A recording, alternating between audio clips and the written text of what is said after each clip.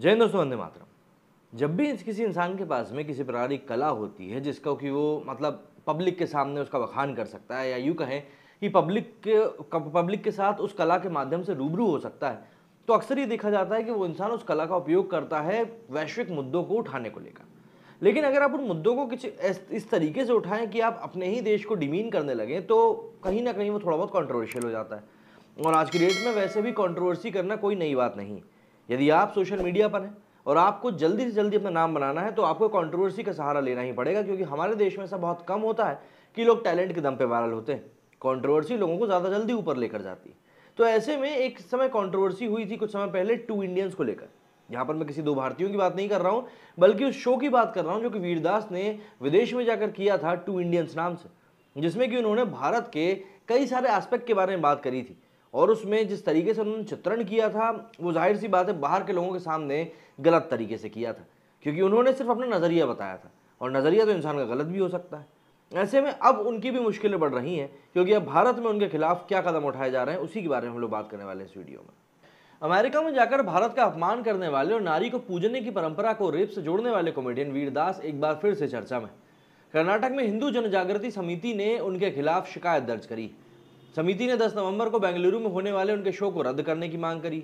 समिति की तरफ़ से व्यालिकावल पुलिस थाने में शिकायत दर्ज कराई गई। समिति ने कहा है कि यह पता चला है कि विवादित कॉमेडियन वीरदास बेंगलुरु के मल्लेश्वरम में चौड़िया मेमोरियल हॉल में 10 नवंबर को कॉमेडी शो करने वाला है। इससे पहले उन्होंने वॉशिंगटन के जॉन एफ़ कैनेडी सेंटर में महिलाओं, हमारे प्रधानमंत्री और भारत के खिलाफ आपत्तिजनक बयान दिया था। उक्त कार्यक्रम में उन्होंने भारत की महिलाओं के बारे में भी अभद्र टिप्पणी करी थी। और देश में पूजने की परंपरा को गलत तरीके से चित्रण करके दिखाया था। समिति की शिकायत में भी इसका ज़िक्र किया गया है।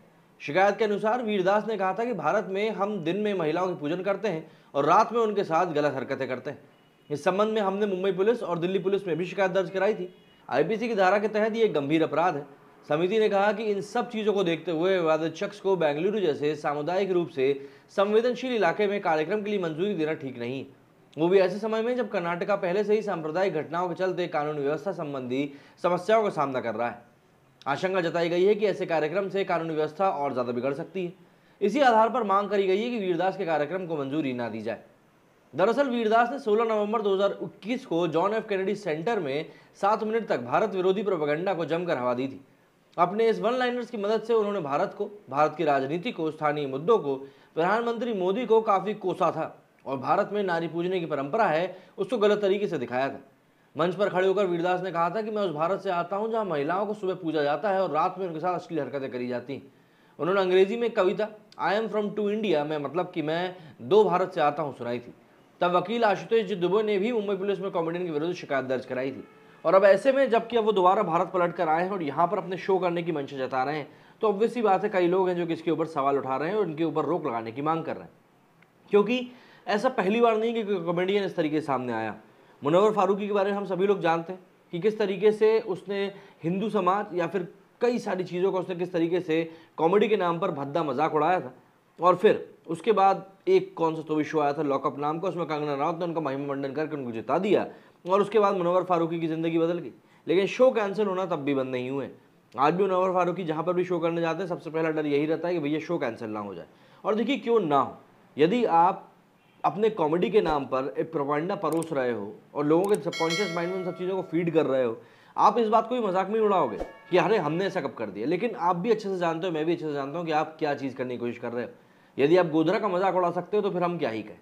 तो ऐसे में वीरदास के साथ जो इस समय हो रहा है, वो भी कहीं ना कहीं जो उन्होंने अमेरिका में टू इंडियंस की जो कविता सुनाई थी, उसी का कहीं ना कहीं कॉन्सिक्वेंस के रूप में हो रहा है।